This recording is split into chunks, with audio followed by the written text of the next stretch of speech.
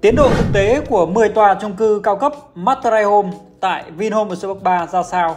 Và dự án này bao giờ sẽ được mở bán? Xin chào quý anh chị quay trở lại với Mr. Anh Bất động sản.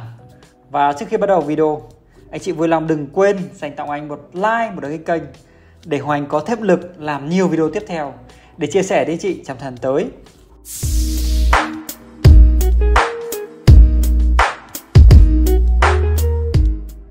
Và đây là hình ảnh mới nhất Hoành có ghi lại bằng flycam tại công trường của 10 tòa cao tầng tại phân khu thời đại Vinhome 1 Bắc 3 tháng 8 2024 vừa qua.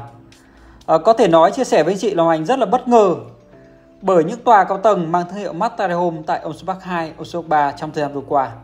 Hoành không nghĩ rằng là chủ tư Mastery Home lại triển khai thi công đồng thời tất cả các phân khu hiện nay bao gồm là bốn tòa đầu tiên của gần hồ tạo sóng tại phân khu San Hô này và 9 tòa của công viên trung tâm Empire Park Ocean Park 2 và đây là 10 tòa của Ocean Park 3 tại phân khu thời đại.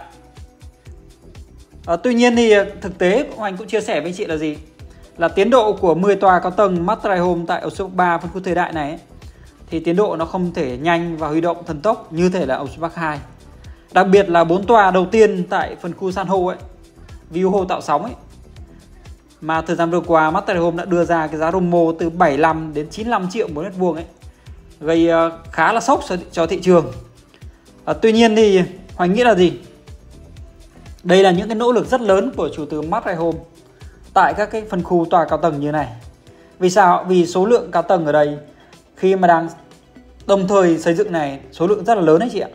10 tòa cao tầng tại thời đại ở số 3 này 9 tòa tại công viên trung tâm Empire Park này tức là 19 tòa rồi và 4 tòa tại phân khu san hô quanh hồ tạo sóng. Tức là hiện nay Master Home đang đồng thời khởi công và xây dựng 23 tòa cao tầng tại Ocean Park 2, Ocean Park 3.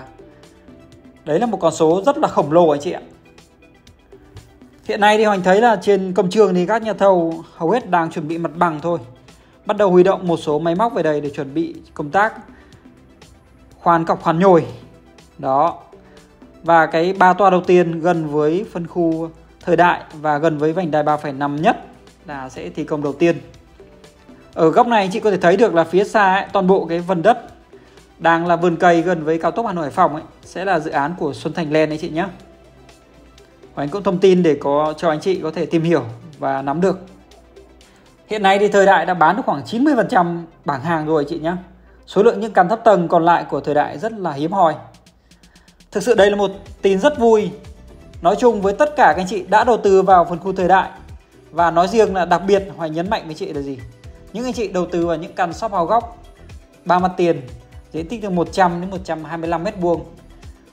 Đối diện với các tòa chung cư cao cấp của Master Home này, thực sự rất là tuyệt vời.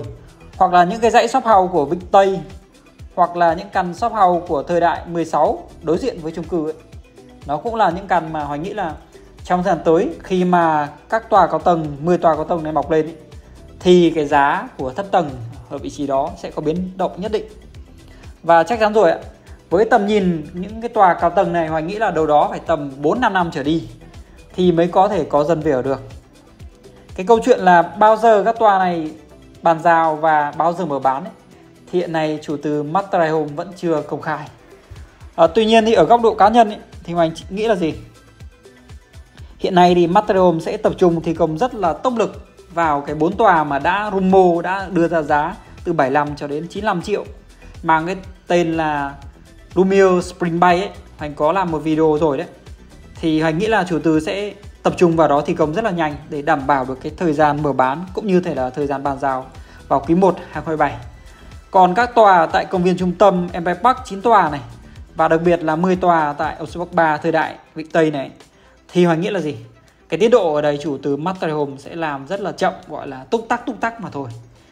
Vì sao vì nếu như mà tập trung vào xây dựng nhanh quá thì mà cái tiến độ bán hàng rồi tốc độ bán hàng nó vẫn chưa được đảm bảo ấy, thì mang lại cái lãng phí cái nguồn lực đầu tư rất là lớn.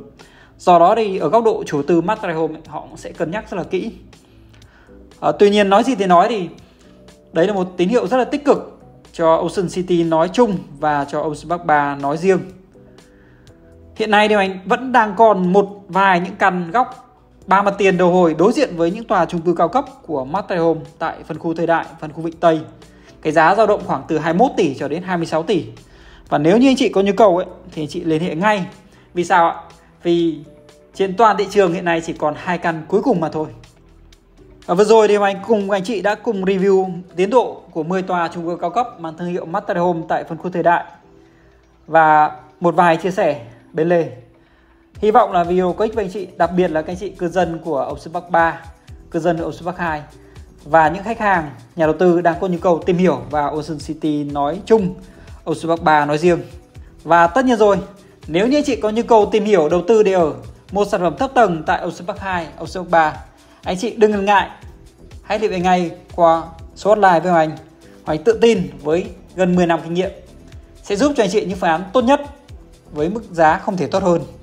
Và cuối cùng thì xin chào. Hẹn gặp lại chị ở những video tiếp theo.